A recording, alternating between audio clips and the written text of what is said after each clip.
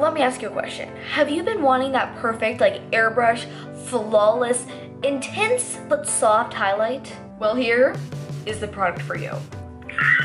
Oh, that does sound like a bird. Baka, baka. No, but this palette, you may be looking at like, Fiona, what, what is this? I'm sorry, this doesn't look like a palette that I've ever heard of. And exactly, like I was like, what? Like when I swatched this in stores, I was like, what is this? This is amazing. So I bought it. Uh, and I literally fell in love with it. This is the highlight that I wear like all the time. You can make it insanely blinding or just super soft, natural, and you can use this as eyeshadows. There's a blush, a bronzer, and highlight in here. It is rated five stars on Ulta.com.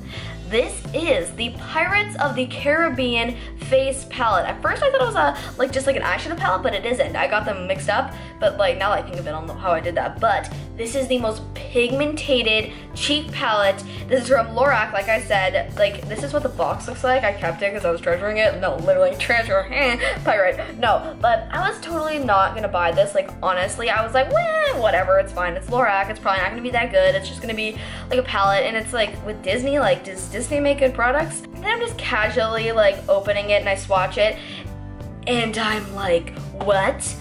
What? What? what? Like it is the softest highlight ever, but yet so intense.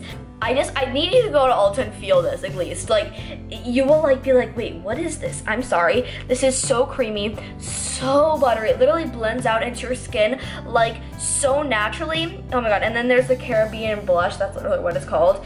And at first I'm like, ah, that's probably the thing that I probably won't use in the palette. But then, do you see this? It's just, it's so creamy and just like what is this made out of? Silk or gold? But like the products are just so creamy, velvety, simple. And as you can kind of see, I've been using these like crazy. Um, like they're like my favorite products ever, to be honest.